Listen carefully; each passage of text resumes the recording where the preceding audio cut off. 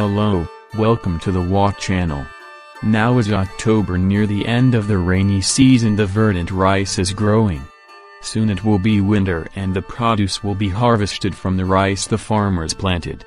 Right now the rice fields are very beautiful. Green rice plant there are dragonflies and local insects. There are native plants that grow in the fields. Everything looks simple, beautiful. It was a time when the farmers were happy. This way of life of farmers is very independent and happy. Rice products are on the verge of being harvested. Thai farmers in ancient times had buffaloes as family members and were involved in their farming. A farmer with a buffalo in a rice field in rural Thailand. It is an image that has an alluring appeal and it becomes a unique identity in Thai people. Next, I will talk about how the buffalo raised by farmers play a part in their farming. In addition to the buffalo is a vehicle for traveling move things it is also responsible for tilling the soil, preparing the cultivation of field crops and planting rice. I will take you to see if the buffalo will plow the soil to be what must farmers do. And let's say that it is a method of ancient people currently, most of the machines are used for farming and farming.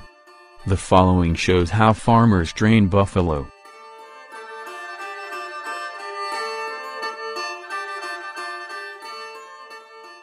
Buffalo training to plow the soil. Must be trained since the young buffalo it could be a male buffalo or a female buffalo. The training required someone to guide the buffalo and another to hold the plow. The plow is a simple uniform made of wood or iron. Practice will be done continuously every day. In most cases, in about a week or two, the buffalo begins to till the soil. On the first day, the buffalo might panic because they never did. But the very next day it gets used to, until the buffalo eventually plow the ground. When the buffalo had already plowed you should keep practicing the buffalo so that it doesn't forget. The swiftly tilled buffalo will be used to plowing equipment and will not need to be led in front of the buffalo. In the opinion of the farmer where the buffalo can work, it will be a valuable and long-lived buffalo because farmers will raise them for use not sold to anyone nowadays. Practicing buffalo to plow the soil is very rare because most of them have switched to using machines. When the buffalo is fully grown farmers will use the buffalo to work. It is a tillage for planting field crops such as sugarcane, cassava. Grow edible plants that are short-lived. Growing other economic crops one day, the buffalo will work for a short time.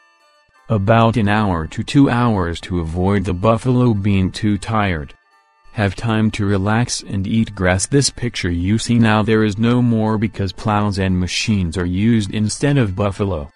Buffalo has changed the status to be a pet to cure loneliness. Beauty Buffalo contest and sale have economic value. Content in this video I have filmed it many years ago and made it into a clip for you to see and know. Tilling the soil with buffalo in Thailand will be like this. In farming, farmers prepare to plow in the morning and before the evening when the sunlight is not hot. So that the buffalo does not get tired and can work a lot they use homemade tools. Something to buy in the market buffalo will act as a small plow to plow the soil. In the old days, every family had to do this because there was no machine. In the past, farming took more time than today.